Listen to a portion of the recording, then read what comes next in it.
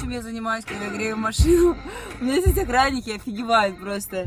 Они сразу говорят, о, красавица наша пришла. Я их постоянно бодрю музыкой, потому что мой день начинается с офигенной музыки. Э, Я заряжаюсь, уже начинаю танцевать, разогреваться и заряжаюсь положительными эмоциями. Что и вам советую. Главное, чтобы музыка была нормальная. Ну и акустика тоже не помешает, на- самом деле. Вот. Так что, дорогие мои, поехала я на работу тренироваться. Милку я уже съела.